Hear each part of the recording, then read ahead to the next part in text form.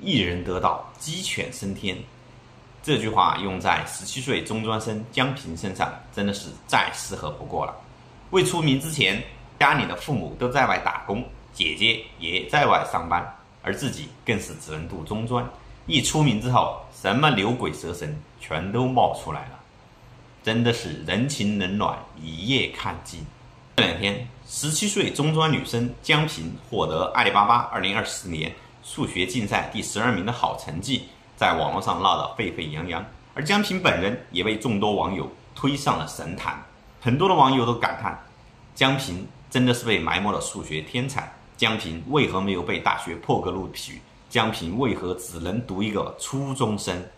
然而，面对这些疑问，我更感叹的是，一名十七岁的女生一夜之间就看尽了人间冷暖。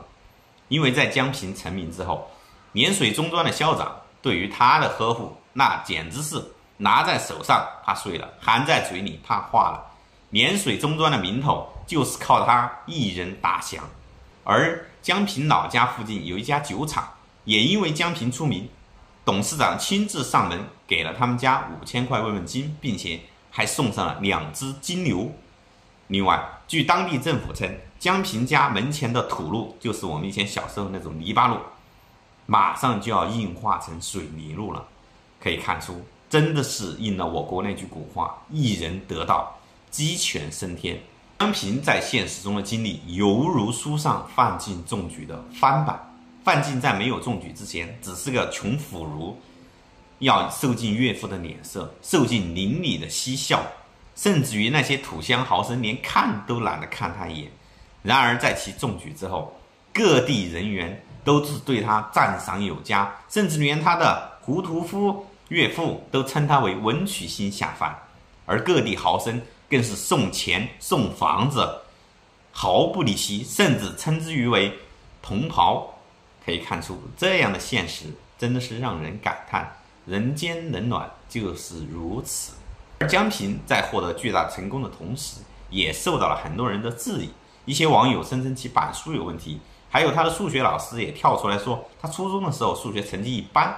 但是面对这些质疑呢，人民网也亲自出来说，不要轻易的毁神造神，给予这位十七岁的女生更大的发展空间。而他的数学老师王润秋也说说，决赛比初赛难很多，如果在决赛中发挥失利，希望各位网友轻喷江平。我个人认为，江平这名女生，我相信她绝对有一定的天赋能力，只是以她目前的年龄。目前的所学知识还不足够其支撑在数学领域大放光彩，因此我们网友不要过度的去追捧，也不要过度的去质疑，而应该给其时间，让其自由再度成长。我相信，当江平再过几年之后，绝对会成为一名数学领域的专家人士。